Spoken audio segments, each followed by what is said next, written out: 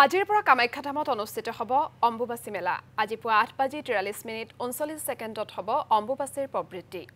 আনহাতে পঁচিছ জুনৰ নিশা ন বাজি সাত মিনিট ঊনৈছ ছেকেণ্ডত হ'ব অম্বুবাচীৰ নিবৃত্তি।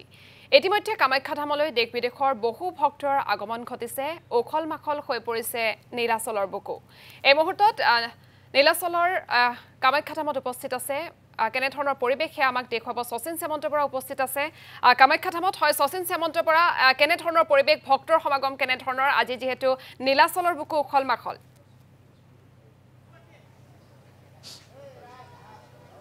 হয় আইচেংফা নিশ্চয়কৈ। আজি মহা অম্বুবাচী মেলা আৰু পোনপ্ৰথমে মই সমূহ অসমবাসী ৰাইজক এই অম্বুবাচী মেলাৰ মা কামাখ্যা ধামৰ পৰা সেৱা জনাইছোঁ। আৰু ইতিমধ্যে মই মা কামাখ্যা দেউলত উপস্থিত আছোঁ আৰু পুৱাৰ ভাগৰ পৰাই ভক্তগণ ৰাইজ আহিছে।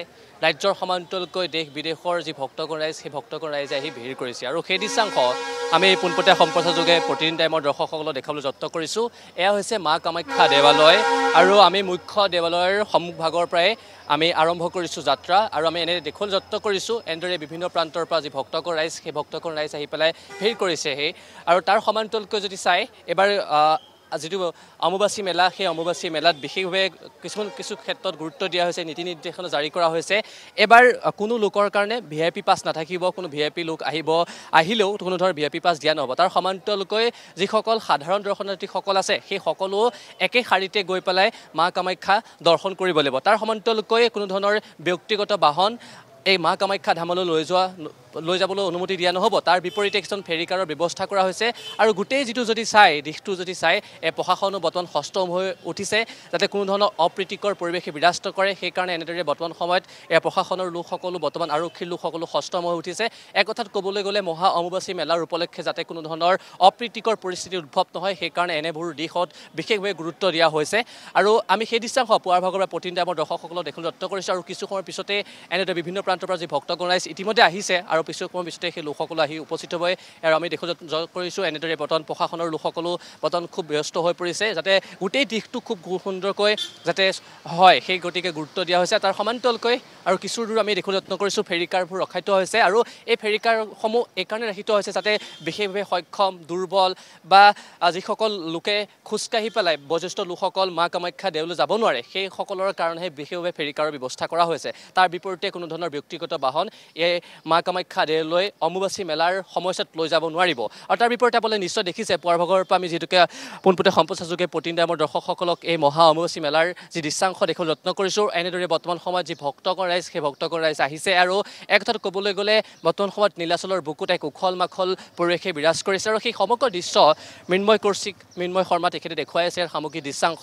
এনেদৰে বিভিন্ন প্ৰান্তৰ পৰা ভক্তগণ ৰাইজ আহিছে আৰু যদি সম্ভৱ হয় মই তেখেতসকলৰ কাষলৈ যাম। কিছু কথা পাতিবলৈ চেষ্টা কৰিম। ইতিমধ্যে মই উল্লেখ কৰিছোঁৱেই এই মহা অম্বুবাচী মেলা সেই মহা অম্বুবাচী মেলাৰ উপলক্ষে ৰাজ্যৰ সমান্তৰালকৈ দেশ বিদেশৰ বিভিন্ন প্ৰান্তৰ পৰা ভক্তগণ ৰাইজ আহিছে আৰু এক উখল মাখল পৰিৱেশে বিৰাজ কৰি আছে। আৰু এয়া দেখিছে বৰ্তমান সময়ত ভক্তগণ ৰাইজ আৰু সকলোৱে বৰ্তমান সময়ত মাৰ আশীষ ল'বলৈ মাৰ দৰ্শন ল'বলৈ তেখেতসকল আহিছে।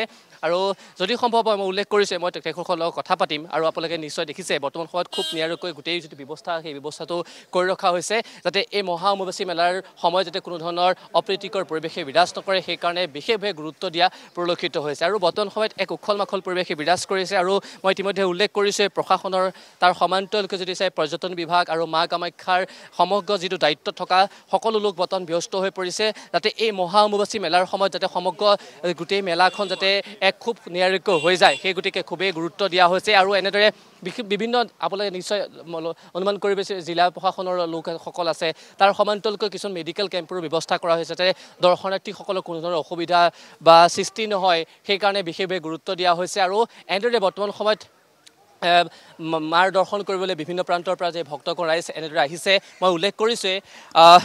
ৰাজ্যৰ সমান্তৰালকৈ দেশ বিদেশৰ বিভিন্ন প্ৰান্তৰ পৰা ভক্তগণ ৰাইজ আহে। এই সময়ছোৱাত ইতিমধ্যে মহা অম্বুবাচী মেলা। আৰু আজি এই মহা অম্বুবাচী মেলাৰ যিটো প্ৰবৃত্তি সেই প্ৰবৃত্তি আঠ বাজি তিয়াল্লিছ ছেকেণ্ডত এই প্ৰবৃত্তি হ'ব আৰু নিবৃত্তি বুধবাৰে হ'ব। আৰু বৰ্তমান সময়ত এই অম্বুবাচী মেলাৰ কাৰণে মই উল্লেখ কৰিছোঁৱে মা কামাখ্যা ধাম নীলাচলৰ বুকুত এক উখল মাখল পৰিৱেশে বিৰাজ আপোনাক এই মুহূৰ্তত ধন্যবাদ জ্ঞাপন কৰিছোঁ। আপুনি পোনপটীয়া সম্প্ৰচাৰৰ জৰিয়তে বৰ্তমান কামাখ্যা ধামত কেনেধৰণৰ পৰিৱেশ আৰক্ষী প্ৰশাসনৰ লোকসকলৰ কেনেধৰণৰ তৎপৰতা কামাখ্যা ধাম কৰ্তৃপক্ষৰ বা তেওঁলোকৰ বিষয়ববীয়াসকলৰ কেনেধৰণৰ তৎপৰতা সবিশেষ আপুনি জনালে। আপোনাক ধন্যবাদ জ্ঞাপন কৰিছোঁ।